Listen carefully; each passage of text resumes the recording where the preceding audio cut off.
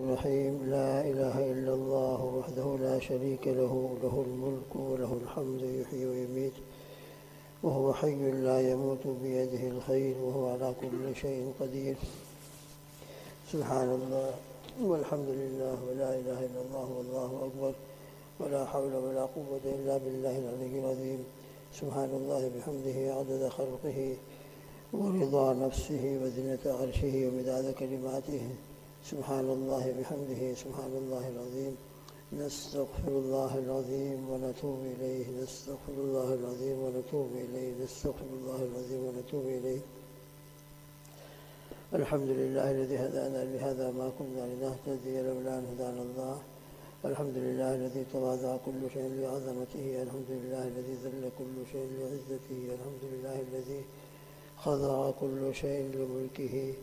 ونشهد أن لا إله إلا الله وحده لا شريك له إلها واحدا أحدا سمدا لم يتخذ صاحبة ولا ولدا ولم يكن له كفوا أحد. ونشهد أن سيدنا وحبيبنا وسندنا ومولانا محمدا عبده ورسوله صلوات الله وسلامه على سيد الأولين والآخرين. خاتم الأنبياء والمرسلين قائد الغر المحذرين سيدنا محمد وعلى آله وأصحابه وأزواجه وأتباعه أجمعين.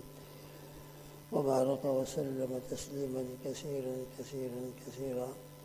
أما بعد عن النبي صلى الله عليه وسلم أنه قال صيام يوم عاشوراء أحتسب على الله أن يكفر السنة التي قبله أو كما قال صلى الله عليه وسلم صدق الله العظيم وصدق رسوله النبي الكريم ونحن على ذلك لمن الشاهدين والشاكرين والحمد لله رب العالمين برشد اللهم صل على محمد وعلى ال محمد كما صليت على ابراهيم وعلى ال ابراهيم انك حميد مجيد اللهم بارك على محمد وعلى ال محمد كما باركت على ابراهيم وعلى ال ابراهيم انك حميد مجيد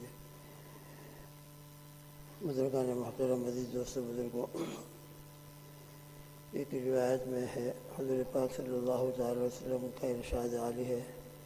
مسلم شریف کی روایت ہے قال رسول اللہ صلی اللہ علیہ وسلم افضل الصیام بعد رمضان شہر اللہ المحرم۔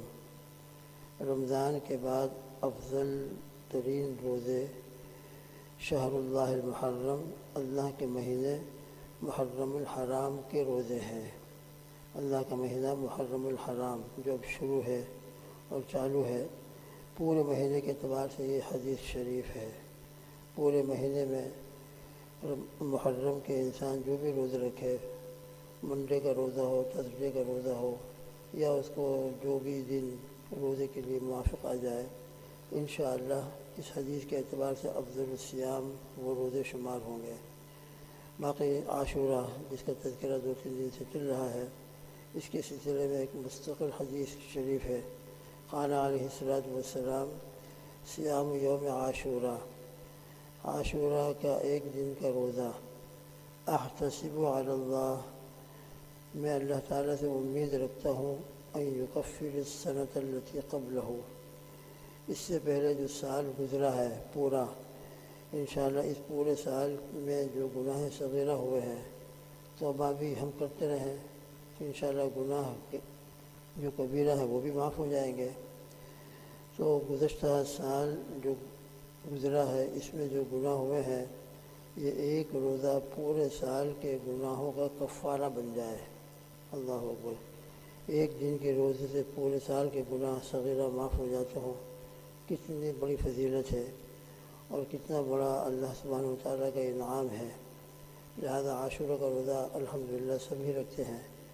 اور رکھنا بھی چاہیے، مستحب ہے، فرض نہیں ہے، لیکن بہرحال بہت بڑی فضیلت اس کے لیے آج بھی موجود ہے۔ حضور پاک صلی اللہ تعالیٰ وسلم مدینہ منورہ پہنچے، جس کا کل تذکر آیا تھا، وہاں بھی پہنچنے کے بعد، یہودیوں سے تحقیق ہونے کے بعد حضرات صحابہ کو حکم فرمایا تھا کہ روزے رکھو۔ تو حضرات صحابہ نے پھر ایک بات ارشاد فرما، عرض کی تھی کہ یا رسول اللہ صلی اللہ علیہ وسلم وہ بھی روزہ رکھتے ہیں، ہم بھی روزہ رکھتے ہیں، تو یہ کہ اس میں تو مشابہت، اس لیے حضور پاک صلی اللہ مشابہت لازم آتی ہے۔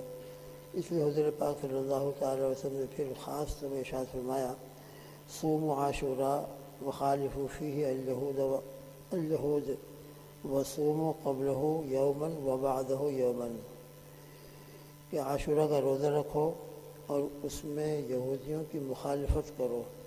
وہ صرف عاشورہ کا روزہ رکھتے ہیں، تم ان کی مخالفت کرتے ہوئے ایک دن پہلے روزہ رکھو، یہاں واو ہے۔ محققین نے فرمایا کہ یہاں واو او کے معنی میں ہے، لیکن کوئی واو کو واو کے معنی میں بھی لے لے۔ تو اس کے اعتبار سے روزہ رکھیں، انشاءاللہ بعد میں اس کا تذکرہ ہوگا۔ تو ایک دن اس کے پہلے رکھ لو یا ایک دن اس کے بعد، یہ اس سے افضل ہوگا۔ خالی ایک دن کا روزہ رکھا جائے، اس سے افضل نمبر دو پہ یہ ہے کہ اس کے ساتھ ایک دن اور ملا لیا جائے۔ ایک دن کے ملانے کے اندر اختیار ہے، چاہے نائن محرم کو ہم ملا لیں یا الیون محرم کو ملا لیں۔ لہذا دسویں، ٹین محرم کے ساتھ نائن الیون، تو نائن اور ٹین، یا پھر ٹین اور الیون، جیسے عاشورہ اعلان کے مطابق سیٹرڈے ہے۔ تو سیٹرڈے کے اعتبار سے کوئی شخص دو روزے اس طریقے سے رکھ لے، فرائیڈے اور سیٹرڈے یا سیٹرڈے اور سنڈے۔ تو انشاءاللہ نبی کریم صلی اللہ تعالیٰ وسلم کا جو ارشاد عالی ہے خالی حفیع الہود اس کے اوپر عمل ہو جائے گا۔ باقی رہا واؤ واؤ کے معنی میں رکھا جائے۔ اور ایک دن پہلے اور ایک دن اور بعد میں ٹوٹل تین روزے، تو یہ سب سے افضل درجہ ہے۔ علامہ ابن حضر رحمۃ اللہ علیہ نے فصل الباری میں عاشورے کے روزے کے بارے میں تحقیق کرتے کرتے کرتے کرتے آخر میں ارشاد فرمایا ہے وعلیٰ حاضہ فسیام عاشورہ اللہ صلاح سے مراتب۔ عاشورہ کے روزے کے تین درجے ہیں، تین کیٹیگری ہیں، تین اسٹیپ ہیں، تین مراتب ہیں۔ ادناحا انسام وحدہ سب سے ادنا درجہ یہ ہے کہ صرف ایک دن کا روزہ رکھا جائے۔ کوئی بیچارہ کمزور ہے، بیمار ہے اور بڑے شوق میں وہ روزہ رکھ رہا ہے، لیکن زیادہ رکھ ہی نہیں سکتا۔ اس مجبوری کی وجہ سے وہ صرف عاشورہ کا روزہ رکھ لے، اپنی مجبوری کی وجہ سے تو وہ بھی انشاءاللہ فضیلت کا حقدار بنے گا۔ اور اللہ تعالیٰ انشاءاللہ اس کو بھی عجر و ثواب عطا فرمائیں گے۔ لیکن یہ تین درجوں میں سب سے ادنا درجہ ہے۔ دوسرا درجہ فرماتے ہیں وفوق ہو ایسامہ اس کے اوپر کا درجہ یہ ہے ایسامت تاثر معاہو کہ اس کے ساتھ نویں تاریخ کا بھی روزہ رکھ لیا جائے۔ نویں تاریخ کا نائن، الیون اور نائن اور ٹین۔ اور اس کے بعد فرماتے ہیں وفوق ہو ایسامت تاثر والحادی عشر۔ کہ ٹین، الیون کے ساتھ، دسویں محرم کے ساتھ نو محرم کا بھی روزہ رکھا جائے والحادی عشر اور گیارہویں محرم کا بھی روزہ رکھا جائے۔ اللہ علم تو یہ سب سے اعلیٰ درجہ ہے۔ لہذا تین روزے اگر کوئی رکھ لے تو بہت ہی فضیلت، بہت اعلیٰ درجہ۔ فصل باری میں یہ حضرت نے علامہ حضر رحمۃ اللہ علیہ نے فرمایا۔ اسی طرح علامہ انور شاہ کشمیری رحمۃ اللہ علیہ عرف الشزی میں فرماتے ہیں وہ حاصل الشریعتی ان الافضل عاشورہ کے روزوں میں سب سے افضل جو روزہ ہے اور سب سے افضل جو صورت ہے، فرماتے ہیں سوم عاشورہ۔ سوم قبلہ و سوم بعدہ۔ عاشورہ سے پہلے ایک دن اور عاشورہ کے بعد ایک دن۔ وہی بات جو ابن حجر رحمۃ اللہ فرمائی، نائن، ٹین، الیون۔ یہ تین روزے اگر رکھیں تو یہ سب سے افضل طریقہ ہے اور سب سے افضل صورت۔ اور اس کی لیے ایک حدیث ابھی آپ کے سامنے پیش ہوئی کہ افضل السیام بعد رمضان شہر اللہ المحرم۔ ایک حدیث یہ بھی ہے کہ پورے مہینے کے اعتبار سے فضیلت اور بھی جو دوسری مشہور حدیث نبی کریم صلی اللہ علیہ وسلم کے ہر مہینے کے روزوں کے بارے میں آتی ہے کہ آپ صلی اللہ تعالیٰ علیہ وسلم ہر مہینے میں تین روزے رکھا کرتے تھے اور اس تین روزوں میں کوئی تعین اور فکس دن نہیں ہے، ایام ویز مشہور ہے مگر فکس نہیں ہے۔ پورے مہینے کے اعتبار سے بھی تین روزے اگر رکھ لی جائے تو وہ سنت انشاءاللہ ادا ہو جاتی ہے۔ تو اس سنت کی ادائیگی کی نیت سے بھی اگر وہ تین روزے رکھ لیتا ہو، نائن، ٹین اور الیون نو محرم دسویں محرم، گیارہویں محرم، تو اس سنت کے اعتبار سے بھی تین روزے سب سے افضل یعنی اس اس سنت میں عمل ہو جائے گا۔ اور اس ان محققین کی تحقیق کے اعتبار سے بھی عاشورہ کے روزے میں سب سے افضل صورت یہی ہے کہ تین روزے رکھے جائیں۔ پھر اس کے بعد فرماتے ہیں سمر ادور من ہو سوم عاشورہ مع سومن قبل ہو او بعدہ۔ ہو دوسری صورت یہ ہے کہ عاشورہ کے ساتھ ایک دن اور ملا لیا جائے، پہلے یا بعد میں۔ نائن ملا دیا جائے یا الیون ملا دیا جائے۔ یہ نمبر دو کے اوپر ہے۔ ثم الادون سوم یوم عاشورہ فقط۔ اور تیسرا درجہ یہ ہے کہ صرف عاشورہ کا روزہ رکھا جائے۔ تو بہرحال یہ عاشورہ کے روزے یقیناً بڑے فضیلت والے ہیں۔ ان میں سب سے اعلیٰ درجہ تین روزے ہیں۔ لہذا اگر کوئی فرائیڈے، سیٹرڈے اور سنڈے یہ تین روزے رکھ لیں تو بہت اعلیٰ درجہ، بہت بڑی فضیلت کی چیز اللہ توفیق دے دے، آسان فرما دیں اللہ سے مانگیں ہم کہ اللہ آسان فرما دیں تو انشاءاللہ اللہ آسان بھی فرما دیتے ہیں۔ تو تین روزے رکھ، ایک تو سب سے اعلیٰ درجہ ہے۔ دوسرا درجہ یہ ہے کہ دسویں محرم کے ساتھ ایک دن اور ملا لیا جائے۔ اب چاہے وہ نویں تاریخ کو ملا لیا جائے، ابن حضرت خالد نویں کا تذکرہ فرماتے ہیں۔